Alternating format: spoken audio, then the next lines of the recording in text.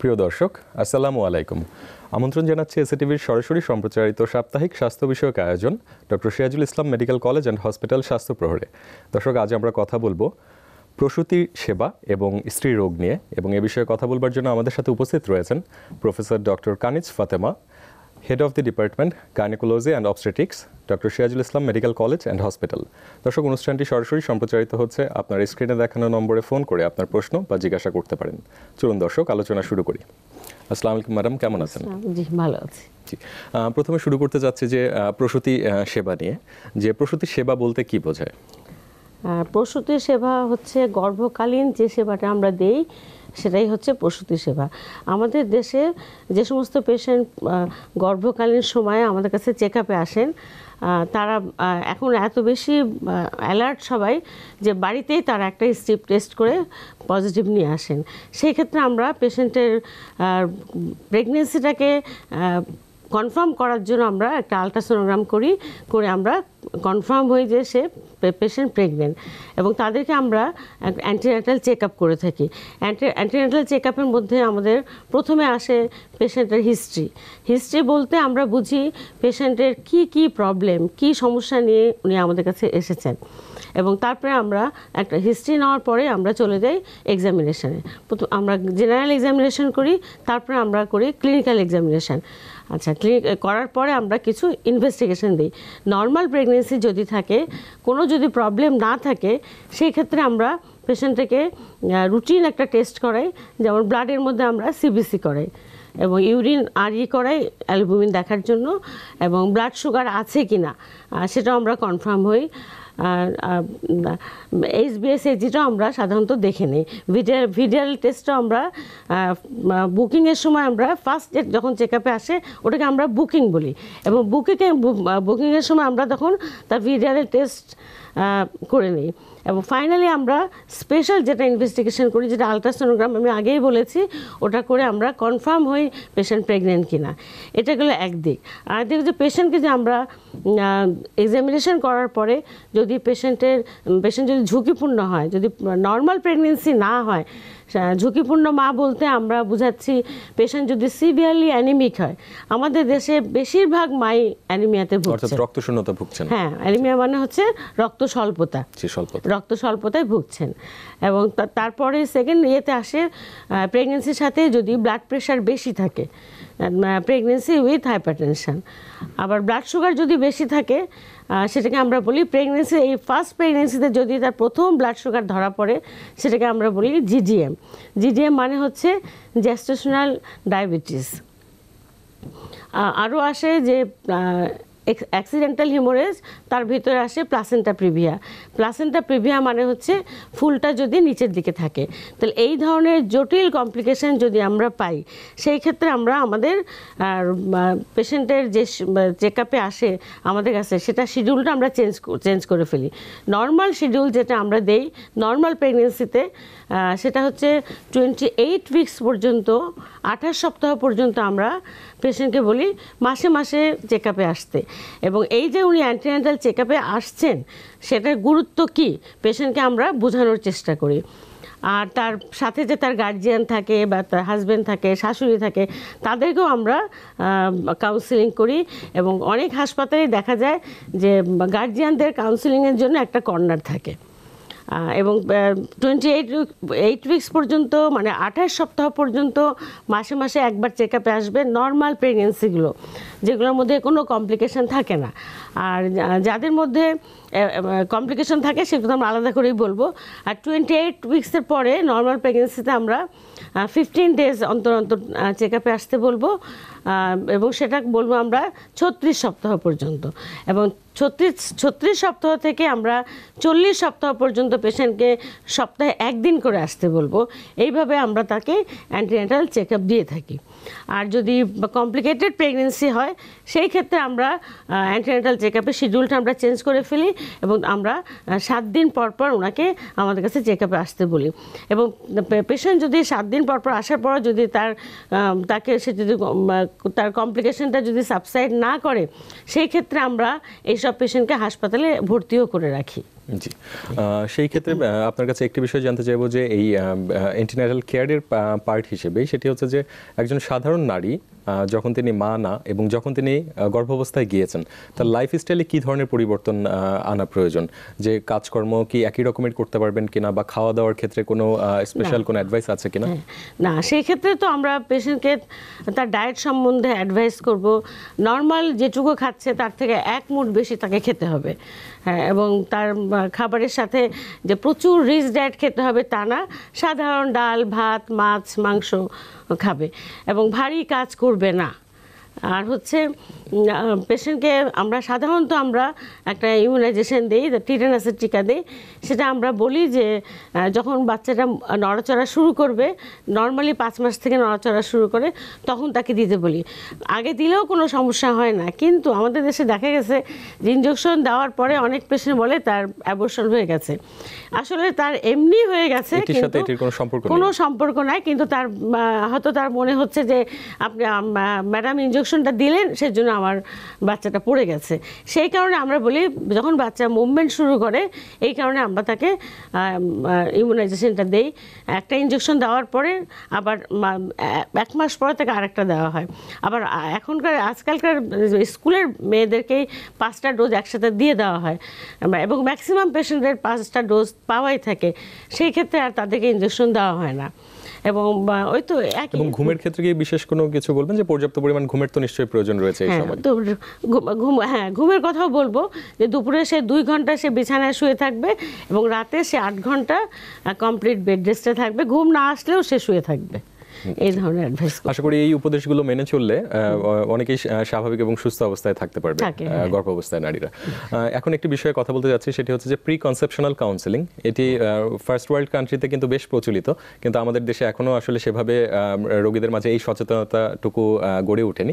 এই বিষয়ে আপনি কি বলবেন যে এবং এর গুরুত্ব কতটুকু? না প্রি কনসেপশনাল যে কাউন্সিলিং সেটা অনেক গুরুত্ব। কারণ ওই যে পেশেন্টের যদি ব্লাড প্রেশার থাকে ডায়াবেটিস থাকে, এবং তারা যদি কনসিভ করে, করলে ডায়াবেটিসের তো অনেক কমপ্লিকেশান আর্লিতে কনজিনেন্টাল অ্যাবনর্মালিটি হতে পারে অ্যাবর্শন হতে পারে, তারপরে আপনার আইইউজিআর হয়। আইইউজিআর মানে কি? ইন্ট্রা ইউট্রাইন গ্রোথ রিটার্ডেশন হতে পারে। সবই প্লাসেন্টাল ইনসাফিসিয়েন্সির জন্য ইনসাফিসিয়েন্সির জন্য হচ্ছে, এবং তার সাথে আবার আইইউডিও হয়। কাজেই পেশেন্টকে আমাদেরকে যদি আমরা আগেই যদি আমরা তাকে প্রি কনসেপশনাল কাউন্সিলিং করি তা তিন থেকে ছয় মাস আগে থেকে যদি তাকে আমরা তৈরি করি প্রেগনেন্ট হওয়ার জন্য বা কনসেপ্ট করার জন্য আহ, তাহলে সেক্ষেত্রে এসব ঝুঁকিগুলো এড়ানো যেতে পারে। হ্যাঁ এই সমস্ত ঝুঁকিপূর্ণ এই বিষয়ে আরও শুনব তবে একটি ফোন নিয়ে আসছি। হ্যালো দর্শক আপনার পরিচয় দিয়ে আপনার প্রশ্নটি করুন। হ্যালো আসসালামু আলাইকুম। ওয়ালাইকুম সালাম জি আমি সঞ্জিতা বলছি মিরপুর থেকে। আমি একটু ম্যাডামের সাথে কথা বলতে যাচ্ছি। ম্যাডাম লাইনটি আসলে শোনা যাচ্ছে না ক্লিয়ার নয়। দর্শক আপনি বিরতির পরে আবার চেষ্টা করুন। জি। আমরা যে আলোচনা করছিলাম যে এন্টিনাটাল চেক এবং অনেক ক্ষেত্রে কিন্তু দেখা যায় যে যেসব নারীদের ক্ষেত্রে যে ডায়াবেটিস রয়েছে বা উচ্চ রক্তচাপ রয়েছে সেই জন্য তারা বিভিন্ন ধরনের ওষুধ নিচ্ছে এবং সেই ওষুধগুলো কিন্তু প্রেগনেন্সির দেখা যেতে পারে যে শিশুর ক্ষতি করতে পারে। হ্যাঁ। সেই জন্যও এন্টিনাটাল চেক আপের বিশেষ প্রয়োজনীয়তা রয়েছে। জি এখন আসতে যাচ্ছে যে অনেকের ক্ষেত্রে দেখা যায় যে রিকারেন্ট অ্যাবর্শন বা বারবার গর্ভপাত হচ্ছে। এই ধরনের রোগীদের ক্ষেত্রে আপনারা কীভাবে ম্যানেজমেন্ট করে থাকেন? এই ধরনের পেশেন্ট যদি আমাদের কাছে আসে তাহলে আমরা তো প্রথমে তার হিস্ট্রি নিব। যে তার ফ্যামিলিতে কারও ডায়াবেটিস ছিল কিনা হাইপার টেনশন ছিল কি না ফ্যামিলি হিস্ট্রিটা নিব তার ড্রাগ হিস্ট্রি নিব এবং তার তাকে আমরা তার থরো একটা এক্সামিনেশন করব জেনারেল এক্সামিনেশন ক্লিনিক্যাল এক্সামিনেশন এবং তাকে কিছু আমরা স্পেশাল ইনভেস্টিগেশন দিব এবং ইনভেস্টিগেশনের মধ্যে নর্মাল তো থাকেই আমাদের সিবিসি ইউরিন তারপরে আলট্রাসোনোগ্রাম কিছু হরমোন টেস্ট করতে দিই আমরা যেমন থাইরয়েড। স্টিমুলেটিং হরমোন দেই প্রোল্যাকটিন দেই হ্যাঁ আর এই এই ধরনের মেইনলি এগুলোই আমরা দিয়ে থাকি। অর্থাৎ থাইরয়েডের সমস্যা থেকেও বারবার গর্ভপাত হতে পারে এবং অন্যান্য অনেক হ্যাঁ, কারণ হ্যাঁ, রয়েছে। সেই ক্ষেত্রে রোগীদের অবশ্যই সচেতন থাকতে হবে এই বিষয়গুলোতে। আহ, জি গর্ভাবস্থার সময় যে যখন একটি শিশু বা গর্ভ থেকে পৃথিবীতে আসবে এই পদ্ধতিটি যে নর্মাল ডেলিভারি হবে নাকি সিজারিয়ান সেশন হবে এই বিষয়টি আপনারা কীভাবে নির্ণয় করে থাকেন? সিজারিয়ান সেকশন কখন করা হয়? আচ্ছা নর্মাল ডেলিভারি পেশেন্ট যদি throughout pregnancy antenatal check আপের সময় আমরা দেখি যে সব সব কিছু নর্মাল আছে এবং তার, আমরা পেলভিসটাও তাকে আমরা ইয়ে করি পেলভিমেট্রি করি, যে না, ওটাও ঠিক আছে। তাহলে আমরা পেশেন্টকে নর্মাল ডেলিভারিতে অ্যালাউ করব।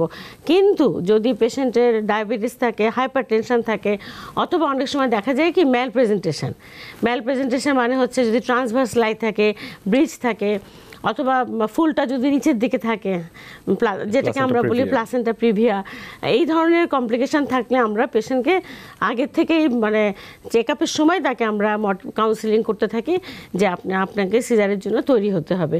কারণ এইসব ক্ষেত্রে নর্মাল ডেলিভারি করতে গেলে মায়ের এবং শিশুর দুজনেই ঝুঁকিপূর্ণ অবস্থায় পড়তে হয়। জি এই বিষয়ে আমরা আরও বিস্তারিত শুনব তার আগে একটি বিরতিতে যেতে হচ্ছে।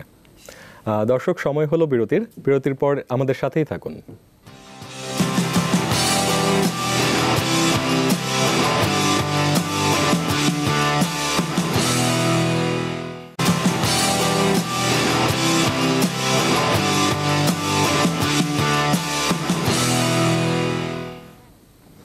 দর্শক, বিরতির পর আবারও স্বাগত জানাচ্ছি doctor Sirajul Islam medical college and hospital স্বাস্থ্য প্রহরে। আজ আমরা কথা বলছি গাইনোকোলজি এবং অবস্ট্রেটিক্স নিয়ে এবং এই বিষয়ে কথা বলবার জন্য আমাদের সাথে রয়েছেন প্রফেসর ডক্টর কানিজ ফাতেমা, বিভাগীয় প্রধান, স্ত্রী রোগ ও প্রসূতি সেবা বিভাগ, doctor Sirajul Islam medical college and hospital. চলুন দর্শক, আলোচনায় ফিরে যাই। ম্যাডাম, যে বিষয়ে কথা হচ্ছিল যে গর্ভাবস্থায় বিভিন্ন জটিলতা, তার ভিতরে একটি কিন্তু এসেছে যে জিডিএম বা জেস্টেশনাল ডায়াবেটিস ম্যালাইটাস এটির ক্ষেত্রে আপনারা ম্যানেজমেন্ট কীভাবে করে থাকেন এবং এর গুরুত্ব কতটুকু? কোনো পেশেন্ট যখন আমাদের কাছে আসে তাকে আমরা যে তার যে ইনভেস্টিগেশন করি তার মধ্যে ব্লাড সুগার যদি বেশি থাকে এবং তার সেই প্রেগনেন্সি তার যদি আগে ডায়াবেটিস না থাকে সেক্ষেত্রে আমরা বলি জিডিএম জ্যাস্টেশনাল ডায়াবেটিস অর্থাৎ গর্ভাবস্থায় প্রথম ধরা প্রথম তার ধরা পড়ল। এবং যদি ব্লাড সুগার যদি খুব বেশি না থাকে নর্মালি তো যদি সেভেনের উপর মানে উপরে থাকে, অথবা মানে টু আওয়ার্স আফটার ব্রেকফাস্ট খাবার দুই ঘণ্টা পরে যদি সাতের বেশি থাকে সেভেন পয়েন্ট এইটের বেশি থাকে, তখন আমরা তাকে ডায়াবেটিক বলে সন্দেহ করি এবং ফাস্টিং যদি পাঁচের বেশি থাকে ফাইভের তা এখন আমরা প্রথমে তাকে এরকম একটা রিপোর্ট যদি পাই, তখন আমরা প্রথমে তাকে তার ডায়েট সম্পর্কে, তার নর্মাল লাইফ সম্পর্কে তাকে আমরা অ্যাডভাইস করি যে মিষ্টি জাতীয় খাবার খাবেন না তারপরে চলাফেরার মধ্যেও আপনার একটু হাঁটতে হবে, স্বাভাবিক নর্মাল ফিজিক্যাল হাঁটতে হবে এবং তারপর আবার যদি আমরা সাত দিন পরে তাকে আবার চেক আপ করি, যদি দেখা গেল যে ব্লাড সুগারটা তো বেড়ে গেছে, সেই ক্ষেত্রে আমরা একজন এন্ডোক্রাইনোলজিস্টের সাথে কনসাল্ট করি এবং আমরা দুজনে মিলেই তখন এই পেশেন্টটাকে আমরা ম্যানেজ করি। কারণ ডায়াবেটিস যদি কন্ট্রোলে না থাকে সেই সব রুগীর এবং রুগীর যে বাচ্চা দুজনেই খুব ঝুঁকিপূর্ণ অবস্থায় থাকে। এবং আমি আগেই বলেছি যে ডায়াবেটিস থাকলে অনেক মাদের মাদের কনজেনিটাল অ্যাবনর্মালিটি থাকে। মানে জন্মগত বাচ্চার সমস্যা থাকতে পারে। আর নাম্বার টু হচ্ছে অ্যাবর্শন হয়ে যেতে পারে। মানে গর্ভপাত হতে পারে। তারপরে প্রি প্রম হতে পারে। That is premature rupture membrane সময়ের আগেই যদি পানি ভেঙে যায় তাহলে সেই বাচ্চাটা যদি থার্টি সেভেন উইক্সের আগে হয় হ্যাঁ তখন সে কিন্তু তার কিন্তু তার নর্মাল বাচ্চাদের থেকে তাকে আলাদাভাবে তাকে ট্রিটমেন্ট দিতে হবে। তাকে তাকে আইসিইউতে পাঠাতে হবে এন আইসিইউতে পাঠাতে হবে। এন আইসিইউ মানে হচ্ছে ইন্টেন্সিভ নিউনেটাল ইন্টেন্সিভ কেয়ার ইউনিটে এবং নিউনেটাল ইন্টেন্সিভ কেয়ার ইউনিট কিন্তু আমাদের হাসপাতালে খুব ভালো সুব্যবস্থা আছে। আর তাছাড়া হতে পারে যে বাচ্চা আইইউজিআর হতে পারে that is intra uterine growth retardation আরেকটা হতে পারে যে আইউডি সাইলেন্ট বা বাচ্চা পেটে খারাপ হয়ে গেল, মা টের পাচ্ছে না। মা কিন্তু বলছে, আমার বাচ্চা নড়ে। কিন্তু আমরা আলট্রাসোনোগ্রাম করে কনফার্ম হয়েছে না, বাচ্চাটা অলরেডি ডেথ হয়ে গেছে। তো এই ধরনের কমপ্লিকেশন ডায়াবেটিস থাকলে মাদের হতে হতে পারে যদি ডায়াবেটিসটা কন্ট্রোলে না থাকে। যেতে পারে তাছাড়া শিশুর ক্ষেত্রেও যেমন আহ, যে অনেক ক্ষেত্রে শিশু আবার আকৃতি বেশি বড় হতে পারে বা হ্যাঁ, শিশুর সুগার কমে যেতে পারে। ম্যাক্রোসোমিয়া জি। ম্যাক্রোসোমিয়া মানে নর্মাল তো আমাদের বাচ্চাদের ওয়েট থাকে টু পয়েন্ট ফাইভ থেকে three point five KG more than four KG যদি হয়ে যায় তো ডায়াবেটিক বাচ্চাগুলো অনেক বড় হয় নর্মাল ডেলিভারি হতে সমস্যা হয় শোল্ডার অ্যারেস্ট হয়ে যায়। সেসব ক্ষেত্রে বিভিন্ন ধরনের জটিলতা দেখা হ্যাঁ অনেক ধরনের জটিলতা আসে। এবং আমরা এই এই জিডিএম এর পেশেন্টগুলোকে আমরা থার্টি সেভেন উইকস কমপ্লিট করে আমরা তাকে আমরা মানে প্রেগনেন্সি টার্মিনেট করি। আদার যদি সব কিছু ভালো থাকে তাহলে নর্মাল ডেলিভারি অ্যালাউ করব আর না হলে আমরা রিক্স না নিয়ে সিজারিয়ান সেকশন করব। জি। কিছু কিছু ক্ষেত্রে দেখা যায় যে গর্ভাবস্থার প্রায় শেষের দিকেই কিছু গর্ভবতী নারী আসেন যে তাদের উচ্চ রক্তচাপ এবং পা ফুলে যাচ্ছে এবং অনেকের ক্ষেত্রে আবার দেখা যাচ্ছে খিচুনি হচ্ছে যে এই রোগটি কি এবং এর হ্যাঁ। চিকিৎসা কীভাবে করা আচ্ছা এই- এই রোগটিকে আমরা বলি হচ্ছে এক্লামশিয়া এক্লামশিয়া মানে হচ্ছে গর্ভকালীন সময়ে তার ব্লাড প্রেশার অনেক বেশি মোর দেন নাইনটি থাকবে এবং তার সাথে অ্যালবিউমিন বেশি থাকবে। ইউরিনে মানে পেশাবে তার অ্যালবিউমিন পাস করবে বেশি প্রোটিন আর হচ্ছে পায়ে, পা ফুলে যাবে ইডিমা থাকবে। এবং তার সাথে যখন খিচুনি হয় ব্লাড প্রেশার কন্ট্রোল না হলে তার সাথে খিচুনি হয়, এই- এই এই রোগটাকে আমরা বলি এক্লামশিয়া এক্লামশিয়া মানে হচ্ছে ব্লাড প্রেশার বেশি থাকবে প্লাস তার সাথে কনভালশন থাকবে। এবং এই ধরনের পেশেন্ট যদি আমাদের কাছে আসে তখন আমরা যদি থার্টি ফোর উইক্সের আগে হয় আমরা তাহলে তাকে কনজারভেটিভ ট্রিটমেন্ট দিয়ে আমরা শর্ট টাইম আমরা দেখব যে তাকে কনভালশন কন্ট্রোল করা যায় কি না তবে এখন আমাদের দেশে কনভালশন মানে খিচুনি কন্ট্রোল করার অনেক ভালো ভালো মেডিসিন বের হয়েছে এবং সেগুলো দিয়ে কন্ট্রোল হয়ে যায়। কন্ট্রোল হয়ে গেলে আমরা তাকে থার্টি সেভেন পর্যন্ত আমরা ক্রস করব। আর যাদের কন্ট্রোল না হয়, তাদেরকে আমরা মানে সিজারিয়ান সেকশন করব। অথবা সে যদি লেবারে থাকে যদি অস ফুল ডাইলেটেড থাকে, ওই সময় তাকে আমরা নর্মাল ডেলিভারি অ্যালাউ করব। তবে সেকেন্ড স্টেজ অফ লেবার যেটা যা সেকেন্ড স্টেজ অফ লেবার হচ্ছে অসটা ফুল ডাইলেটেশন থেকে ডেলিভারি অফ দ্য ফিটাস ওই ওই স্টেজটাকে আমরা কাটশট করার জন্য অনেক সময় আমরা লো ফরসেপ করি করে তাড়াতাড়ি বাচ্চাটা বের করে ফেলি। বাচ্চাটা ডেলিভারি হয়ে যাওয়ার পরে মায়ের এই সমস্ত সমস্যাগুলো জটিলতাগুলো অনেক ম্যাক্সিমাম ক্ষেত্রে দেখা যায় সাবসাইড করে গেছে বা কমে গেছে। জি এ বিষয়ে আমরা আরও আলোচনা শুনব তার আগে একটি ফোন নিচ্ছে। জি দর্শক আপনার পরিচয় দিয়ে আপনার প্রশ্নটি করুন। হ্যালো হ্যালো জি শুনতে পাচ্ছি বলুন। জি আমি ঢাকা থেকে নাহার বলছি। জি। আমার এজ হচ্ছে থার্টি সিক্স তো আমার একটু দেরি করেই বিয়ে হয়েছে। এখন আমি কনসেপ্ট করতে চাচ্ছি। তো আমার হচ্ছে ব্লাড প্রেশার নব্বই নিচেরটা নব্বই আর উপরেরটা সব সময় একশো চল্লিশ থাকে এবং মানে থাইরয়েডের সমস্যা আছে আমার। তো আমাকে থাইরয়েডের ওষুধ দিয়েছে, আমি খাই না। মানে এখন থাইরয়েডের ওষুধটা আমাকে মানে কখন খেতে হবে এবং কীভাবে খেতে হবে এটা একটু জানাবেন। আমার মানে হাইপোথাইরয়েড আর আমার এই অবস্থায় কি মানে প্রেগনেন্সি করা সম্ভব? আর আমার প্রচণ্ড অ্যালার্জির সমস্যা আছে, সেক্ষেত্রে কি মানে আমার কোনো প্রবলেম হবে? ম্যাডাম একটু জানাবেন। ধন্যবাদ, দর্শক। আপনার তিনটা জিনিস এখানে আছে। একটা হচ্ছে আপনার হাইপোথাইরয়েডিজম মানে আপনার থাইরয়েড হরমোনটা কম। সেই ক্ষেত্রে আপনাকে থাইরয়েড হরমোনের যে ড্রাগটা দেওয়া হয়েছে, আপনি যাকে দেখাচ্ছেন, কোনো এন্ড্রোক্রাইনোলজিস্টের কাছে যাবেন এবং ওনার পরামর্শ মতে আপনি চিকিৎসা নেবেন। এবং থাইরয়েড যে আমরা ওষুধটা দেওয়া হয়, সেটা সাধারণত খাবার সকালে খাওয়ার আধা ঘণ্টা আগে খেতে হয়। এবং কনসিভ করতে হলে আপনাকে থাইরয়েড নর্মাল আনতে হবে দ্যাট ইজ ইউ থাইরয়েড হতে হবে। আর ব্লাড প্রেশারের কথা আমি বলব যে ব্লাড প্রেশার আপনি অ্যান্টি হাইপারটেনসিভ ওষুধ খাবেন এবং ব্লাড প্রেশারটা কন্ট্রোল করবেন। হাই আপনার থাইরয়েড হরমোন নর্মাল হলে প্রেশার নর্মাল হলে আপনি কনসিভ করতে পারবেন। কিন্তু যেহেতু আপনার বয়সটা বেশি আমরা সাধারণত থার্টি মানে টোয়েন্টি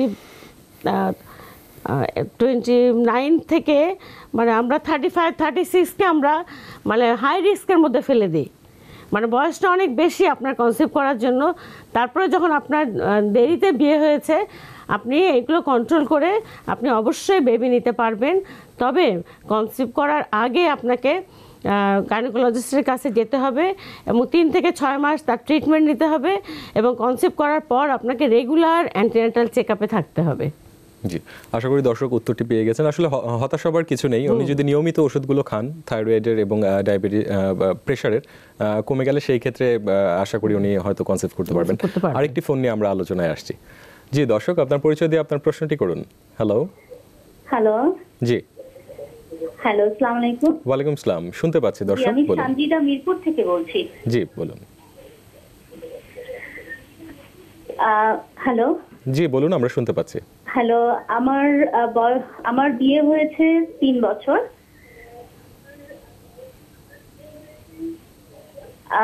আমরা এখন বেবি নিতে চাচ্ছি। তো আমি গত আড়াই বছরের মতোই আমি বেবির জন্য ট্রাই করছি।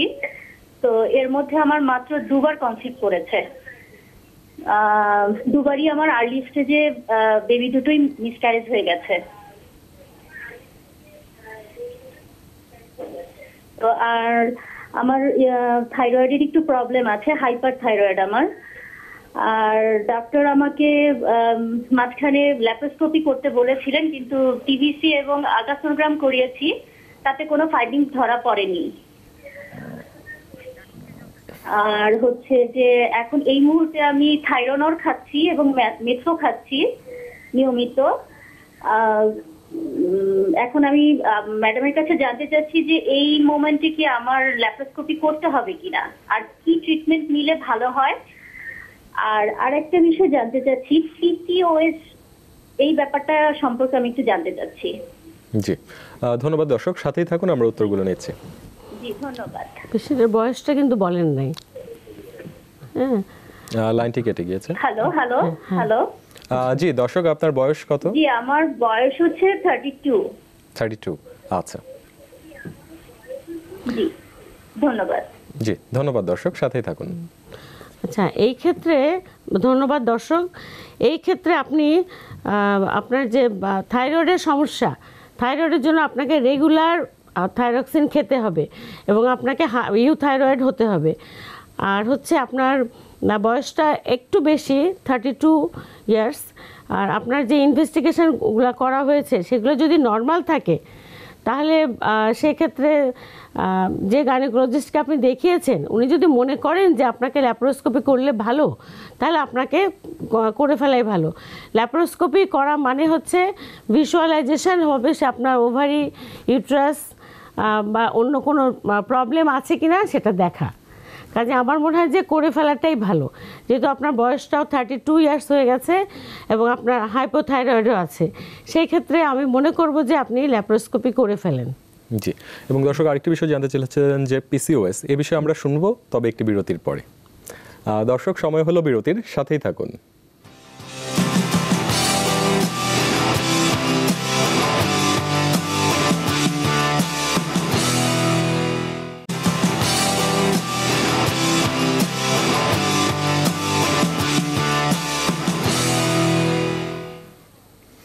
দর্শক, বিরতির পর আবারও স্বাগত জানাচ্ছি doctor Sirajul Islam medical college and hospital স্বাস্থ্য প্রহরে। আজ আমরা কথা বলছি স্ত্রীরোগ ও প্রসূতি সেবা নিয়ে এবং আমাদের সাথে রয়েছেন প্রফেসর ডক্টর কানিজ ফাতেমা। চলুন দর্শক, আলোচনায় ফিরে যাই। বিরতির আগে একজন দর্শক প্রশ্ন করেছিলেন যে পিসিও অর্থাৎ পলিসিস্টিক ওভারিয়ান সিনড্রোম সম্পর্কে উনি জানতে চাইছেন। এই বিষয়ে একটু বলবেন আচ্ছা পলিসিস্টিক ওভারিয়ান সিনড্রোম এখানে পেশেন্ট যখন আসে, আমাদের কাছে কমপ্লেন করে যে মাসিক হয়তো বন্ধ হয়ে গেছে দুই দুই থেকে তিন মাস অথবা ইরেগুলার পিরিয়ড হচ্ছে মানে অনিয়মিত মাসিক হচ্ছে। আর সেকেন্ড কমপ্লেন হচ্ছে পেশেন্ট একটু ওয়েট গেইন হয় মোটা বেশ ভারী আগে ওজন যা ছিল তার থেকে তার ওজন অনেক বেড়ে গেছে। আচ্ছা আর আর আমরা এমনি এক্সামিনেশনগুলো দেখতে পাই যে তার হচ্ছে আপনার আমরা যেটা বলি যে হ্যাঁ হ্যাঁ এটা হার্সুটিজম দেখা যায়। আর পেশেন্টের আরেকটা কি থাকে? পেশেন্ট হচ্ছে সাব ফার্টিলিটি থাকে। মানে সে তার বিয়ে হওয়ার পরে তার, সে কনসেপ্ট করছে না। সেই কারণে সে আমাদের কাছে আসে এবং আসার পরে আমরা ইনভেস্টিগেশন করার পরে আমরা এটা ডিটেক্ট করি। এবং এই সব ক্ষেত্রে আমরা কিছু হরমোনের পরীক্ষা করতে দেই। হরমোনের মধ্যে আমরা সাধারণত ফলিকুল স্টিমুলেটিং হরমোন তারপরে লিউটনাইজিং হরমোন অনেক সময় আমরা টেস্টোস্টেরনও দিয়ে থাকি। এবং যদি হরমোনের খুব বেশি প্রবলেম থাকে তাহলে আমরা একজন এন্ডোক্রাইনোলজিস্টের সাথে কনসাল্ট করি এবং আমরা দুজনে একসাথে তার চিকিৎসা করা হয়ে থাকে এবং সাথে রোগটি নির্ণয়ের ক্ষেত্রে আলট্রাসোনোগ্রাফিরও একটি ভূমিকা রয়েছে হ্যাঁ নিশ্চয়ই। হ্যাঁ আলট্রাসোনোগ্রামে আমরা বুঝতে পারি পলিসিস্টিক ওভারিয়ান সিনড্রোম জি আশা করি দর্শক উত্তরটি পেয়ে গিয়েছেন। আমরা আলোচনায় যাওয়ার আগে একটি ফোন নিয়ে নিচ্ছি। জি দর্শক আপনার পরিচয় দিয়ে প্রশ্নটি করুন। হ্যালো আসসালামু আলাইকুম। ওয়ালাইকুম আসসালাম আমি মন বলছি গাইবান্ধা থেকে আমি একটু ম্যাডামের সঙ্গে কথা বলতাম জি বলুন। যে আমার একটা বেবি আছে সাড়ে চার বছর বয়স। আমি আবার দ্বিতীয়বার গর্ভধারণ করি। এবছরেই ম্যাডাম আট মাস পার হওয়ার পর শেষের দিকে এসে আমার প্রেশার ধরা পড়ে। প্রেশার মানে ডাক্তার ডক্টর দেখেন যে একশো পঞ্চাশ বাই নব্বই ছিল। কিন্তু সেই মুহূর্তে উনি আমাকে সারডোপা দিয়ে মানে ট্রিটমেন্ট দিয়ে ছেড়ে দিয়েছেন। দেওয়ার পরে বেবিটা আমার পাঁচ দিন পরেই বেবিটা আমার পেটেই মারা যায়। মারা যাওয়ার পরে নর্মাল ডেলিভারি আর হয় না, শেষে সিজার করতে হয় আমাকে ম্যাডাম তো এখনও আমার প্রেশারটা বেশি। এই গত তিরিশ তারিখের ঘটনা ম্যাডাম এখনও আমার প্রেশারটা বেশি। তো এই ক্ষেত্রে পরবর্তীতে আমি কতদিন পর বেবি নিতে পারব? এবং হচ্ছে আমার প্রি ট্রিটমেন্ট কি হতে পারে আমি একটু জানতে চাচ্ছিলাম। আমার ওয়েটটা একটু বেশি ম্যাডাম আমার এজ হচ্ছে থার্টি ওয়ান ওয়েটটা একটু নাইনটির দিকে তো সে যে ক্ষেত্রে আমি একটু প্রি ট্রিটমেন্টটা জানতে চাচ্ছিলাম এবং কতদিন পর আমি বেবি নিতে পারব যাতে আমার কোনো সমস্যা না হয়? জি অত্যন্ত দুঃখজনক একটি ঘটনা। ম্যাডাম কি কোনো প্রশ্ন রয়েছে? জি স্যার আমার আসলে অনেক দুঃখজনক ঘটনা। আমার পঁয়ত্রিশ সপ্তাহ ছত্রিশ সপ্তাহ চার দিনে গিয়ে বেবিটা আমার পেটে মারা যায়। জি। সাথেই থাকুন খুবই দর্শক আমরা দুঃখজনক ঘটনা। হ্যাঁ ধন্যবাদ দর্শক আপনার আমি যদি শুধু ডক্টর বলতেন আমাকে পঁয়ত্রিশ সপ্তাহ দিয়ে যে আমাকে সিজার করতে হবে হ্যাঁ। আমি সাথে সাথে সিজার করতে করে ফেলতাম। কিন্তু আমাকে সে কথা বলেননি আমাকে সারডোপা দিয়েছেন আর সাথে ক্যালসিয়াম ফলিক অ্যাসিড ছিলেন। আর বলছেন যে আমার প্রেশারটা চেক করতে। আমি প্রতিদিন এই চেক করছি যে নাইনটির উপরে গেলে দুটো করে সারডোপা খেতে মানে দিনে ছয়টা করে খেতে দিয়েছিলেন। আমি তাও খেয়েছি কিন্তু শেষ পর্যন্ত আমার বেবিটাকে আমি বাঁচাতে পারিনি ম্যাডাম আমি স্কুলে শিক্ষকতা করি। আমার অনেক কষ্ট মানে কষ্টদায়ক একটা ঘটনা ঘটে গেছে। দর্শক অত্যন্ত দুঃখজনক একটি ঘটনা। আপনি সাথেই থাকুন আমরা উত্তরটি নিচ্ছি। ধন্যবাদ দর্শক। আপনার প্রশ্নে আমার ভীষণ কষ্ট লাগছে কেননা থার্টি ফাইভ উইক্সে যে যদি আপনার আহ, বাচ্চাটা মারা যায় পেটে আহ, খুবই দুঃখজনক। তো এইসব ক্ষেত্রে আমি আগেই বলেছি ব্লাড প্রেশার যদি বেশি থাকে আমাদেরকে অনেক কষাস হতে হয়। এবং আমরা সাধারণত থার্টি ফাইভ উইক্সে আসার আগেই পেশেন্টকে যদি ব্লাড প্রেশার না কন্ট্রোল হয়, আমরা পেশেন্টকে অ্যাডভাইস করি ভর্তি হওয়ার জন্য। অ্যাডমিশন নিয়ে আমরা তাকে তার বাচ্চাটাকে লাংস ম্যাচিউর করার জন্য আমরা কিছু ইঞ্জেকশন দিয়ে থাকি, যে আমরা ডেলিভারি হওয়ার পরে বাচ্চাটা যেন সুস্থ থাকে। থার্টি ফাইভ উইকস হওয়া মানে তো একদম টার্মে চলে যাওয়া। যাই হোক বা আপনার ক্ষেত্রে এরকম একটা ঘটনা ঘটে গেছে। এটা উনি যেটি জানতে চাচ্ছিলেন যে উনি আবার কতদিন পরে পুনরায় আপনি বা- যেহেতু আপনার সিজার হয়েছে আপনি একজন ভালো গাইনোকোলজিস্টের সঙ্গে সব সবসময় যোগাযোগ রাখেন। এবং আমার মনে হয় যে আপনাকে এক বছর একটু ট্রিটমেন্টে থাকতে হবে। এক বছর আপনাকে ব্লাড প্রেশার কন্ট্রোল করে রাখতে হবে এবং নর্মালি এক বছর পরেই আপনি কনসিভ করেন। যদিও আপনার বয়সটা থার্টি ওয়ান তাতে ইনশাল্লাহ অসুবিধা হবে না। আপনি এক বছর পরে বাচ্চা নিতে পারবেন, তবে আপনাকে এখন থেকে আপনাকে ব্লাড প্রেশার সম্পূর্ণ কন্ট্রোলে থাকতে হবে এবং ডাক্তারের সাথে সবসময় যোগাযোগ থাকতে হবে। জি, আশা করি দর্শক উত্তরটি পেয়ে গিয়েছেন। আমরা আরেকটি ফোন নিয়ে আলোচনায় আসছি। জি দর্শক আপনার পরিচয় দিয়ে প্রশ্নটি করুন। হ্যালো হ্যালো আমি দিনাজপুর থেকে রুবিনা বলছি। জি বলুন। তো আমার হচ্ছে thyroid nine point five three. তো সেক্ষেত্রে আমাকে থাইরয়েড দিয়েছে। তো এটা কি আমাকে আধাটা খেতে হবে নাকি একটা করে সকালে আধা ঘণ্টা আগে নাকি এক ঘণ্টা আগে খেতে হবে? একটু জানাবেন। আর এক্ষেত্রে মানে আমার কনসেপ্ট করলে কোনো প্রবলেম হবে কিনা? ম্যাডাম একটু জানাবেন প্লিজ। ঠিক আছে, দর্শক, সাথেই থাকুন। হ্যাঁ ধন্যবাদ, দর্শক। আপনার যে হাইপোথাইরয়েডিজম নাইন নাইনের উপরে আছে, তা আপনাকে, আমার মনে হয় যে আপনি এই ডোজটা আমরা সাধারণত হাফ ট্যাবলেট করে শুরু করি। হাফ থেকে শুরু করে তারপরে আমরা গ্র্যাজুয়ালি বাড়াই। তা আপনি কোনো ভালো এন্ডোকাইনোলজিস্টের সাথে যোগাযোগ করেন।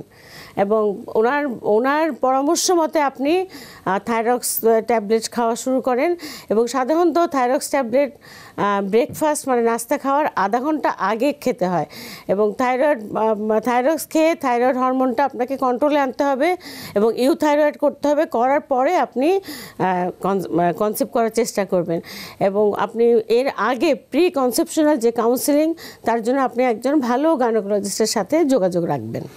জি দর্শক ফোন করেছিলেন দিনাজপুর থেকে। সেই ক্ষেত্রে উনি হয়তো এন্ডোক্রাইনোলজিস্ট বা একজন মেডিসিন বিশেষজ্ঞের কাছে যেতে পারেন। কারণ শুধুমাত্র কেবলমাত্র রিপোর্ট দিয়ে উনি যেটি জানতে যাচ্ছেন সেটি হয়তো অ্যাপ্রোপ্রিয়েট হ্যাঁ, হবে সেটা হয় না সেটা ডাক্তার মানে এন্ডোক্রাইনোলজিস্টের সাথে কথা বলে কনসাল্ট করে তারপরে ওনারাই আপনার ডোজটা ঠিক করে দেবেন। জি আশা করি দর্শক উত্তরটি পেয়ে গিয়েছেন। অনেক ক্ষেত্রে কিন্তু গাইনি আউটডোরে এই ধরনের পেশেন্ট পাওয়া যায় যে পেশেন্ট আগে তার পিরিয়ড নিয়মিত হতো কিন্তু এখন দেখা যাচ্ছে যে অনিয়মিত হয়ে গিয়েছে যে দুই তিন মাস আহ, পর পর হচ্ছে। বা সাথে সাথে আবার অনেক ক্ষেত্রে এই ধরনের পেশেন্টও আসে যে তার পিরিয়ড হবার সময় প্রচণ্ড ব্যথা হচ্ছে। এই ধরনের জটিলতাগুলো কেন হয়ে থাকে? আচ্ছা এই ধরনের জটিলতা এই ধরনের পেশেন্ট আমাদের কাছে আসে পিরিয়ড ইরেগুলার আগে রেগুলার ছিল, এখন তার দুই, তিন মাস পরে পরে হচ্ছে। অথবা টানা ধারে ব্লিডিং হচ্ছে, অথবা পিরিয়ড শুরু হলে প্রচুর ব্যথা হচ্ছে। সেইগুলোর ক্ষেত্রে আমরা পেশেন্টকে কিছু ইনভেস্টিগেশন করাই।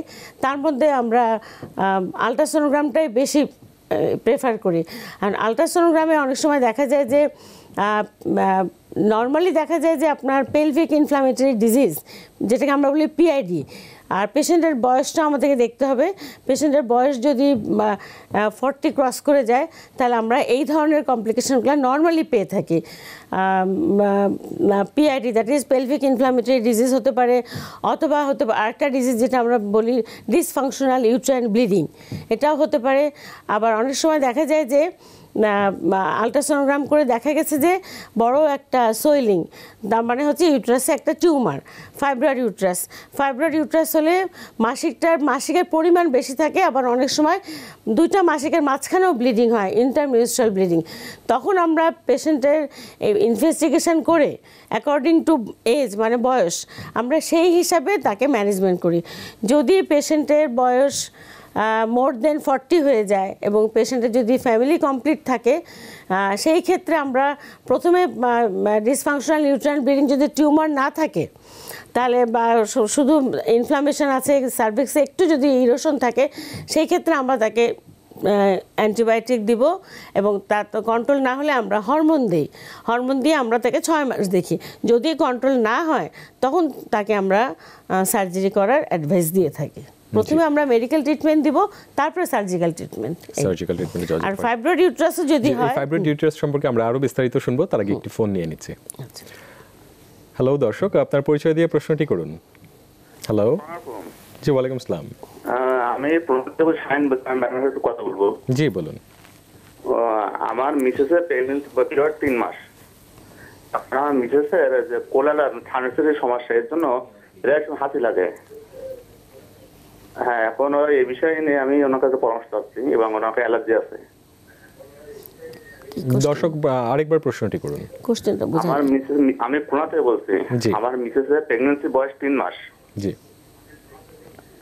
আচ্ছা আমার মিসেসের কোলালাজির সমস্যা। কোল্ড অ্যালার্জি আচ্ছা। যে যেমন- এবং প্রায় সময় মানে হাতি লাগে এবং গা হাত চুলকায়। এর জন্য কোনো ওষুধ ব্যবহার করতে পারব কিনা?